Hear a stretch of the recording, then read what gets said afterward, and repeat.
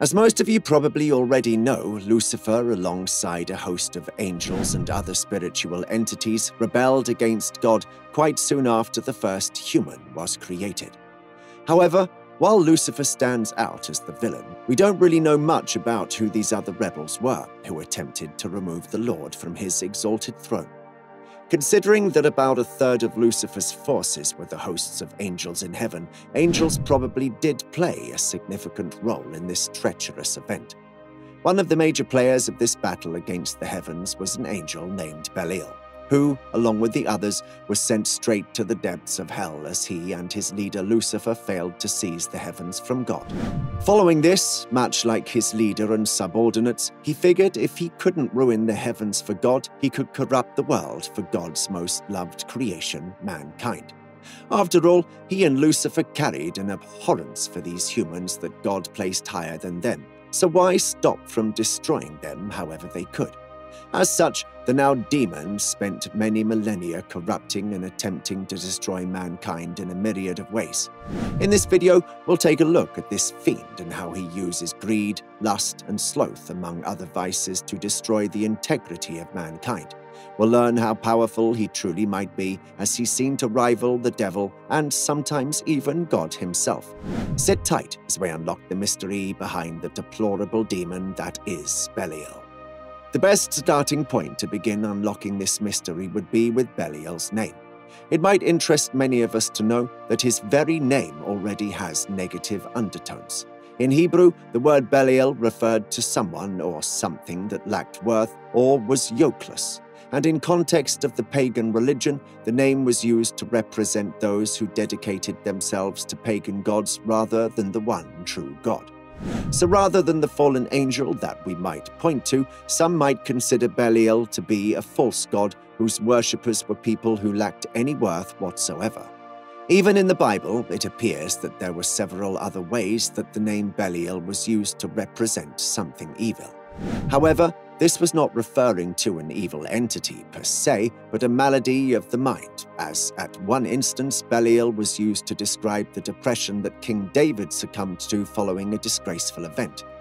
Nonetheless, more often than not, Belial maintained a reputation for wickedness and deceit because in other parts of the Bible it's used to describe someone who seeks to perpetuate the aforementioned vices upon his fellow man we point to the tale of a man who visited the town of Gibeah, a story that is eerily similar to the story of Sodom and Gomorrah.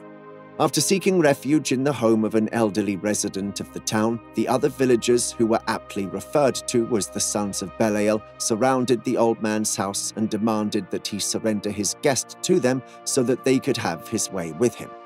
They defiled the guest's wife, which led to chaos and frenzy across the entire town. As such, it's during this incident that the evil connotation of being a son of Belial was confirmed. Another tale that refers to the wretchedness of the sons of Belial is that of Eli in the book of Samuel, the second to the last judge of Israel before the age of kings. Alas, while Eli was devout, his sons were not, as they exploited their high position by diverting the best sacrificial meats for themselves while also openly fornicating with women at the entrance to the tent's meeting.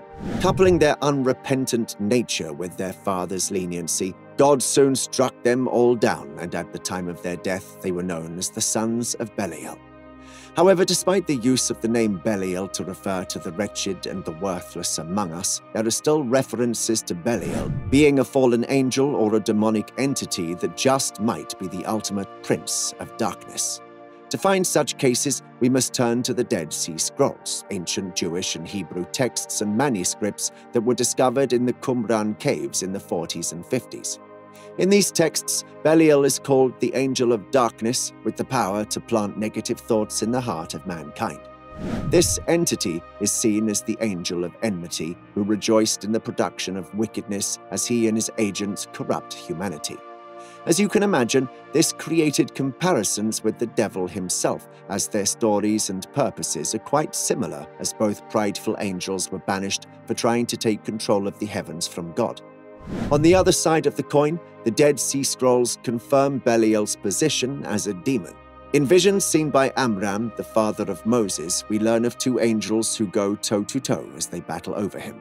As he retold this account, he confirmed that one of these supernatural entities was Belial, the king of evil.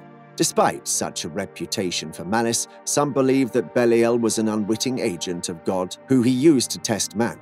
This can be exemplified by the notion that when Moses tried to appeal to the Pharaoh to free his people, God used Belial to poison the heart of the Egyptian overlord. However, there are still accounts, such as the Testament of the Twelve Patriarchs, that declare Belial as God's enemy. In this text, Simeon, one of the sons of Jacob, gives details how Belial used fornication as a tool to corrupt mankind and steal their souls away from God. If we keep digging deeper, we may also find references to the fact that some believed that Belial is truly the secret ruler of the earthly planes in some other texts. In such scripts, Prophet Isaiah warned King Hezekiah that his son Manasseh, the heir to the throne, is under the influence for Belial, whose actual name is believed to be Man Mantanbucus, an entity who plans to steal God's subjects from him while planning to usurp his throne. However, this reign as God's rival was pretty short lived, as Jesus' crucifixion put an end to it. In the book of Revelations, it said that Jesus descended to the pits of hell, where he saved many souls by granting them salvation. During this salvation mission, Jesus commanded Bartholomew, one of his twelve apostles, to subjugate Belial. It's during this subjugation that Belial revealed that he is indeed an angel named Sataniel, who was a messenger of God. Unfortunately, he was to fall along with Lucifer. Following this, he became an overseer of hell and revealed that only fallen angels, not demons, could truly be in charge of the realm of darkness. Furthermore, along with the accounts of this entity being an angel or a demon, there are some accounts related to its origin. Some are even of the impression that Belial was a king who was created after Lucifer, but was first to fall before the devil. Despite his fall, he still takes the form of an angel and is known to have demons and other fallen angels under his dominion. However, in other texts, it's said that Solomon was deceived by one of his many wives or concubines to worship this demon as he slowly stepped away from the grace of God. Finally, others like the occultist Aleister Crowley considered Belial to be a powerful demon second only to Lucifer, and he said to teach the dark arts to those looking to learn such evil secrets. All in all, it's clear that whether you consider Belial to be a mere notion, a fallen angel, or a wretched demon, the entity has no love for man and would do all it can to bring mankind to disrepute as he corrupts the people with wickedness, lust, and worthlessness it's safe to say that we must all aspire to never let this entity influence our lives. Well, that's all for today's video. Be sure to like and subscribe so you can be notified about our next videos. Trust me, you don't want to miss any of that.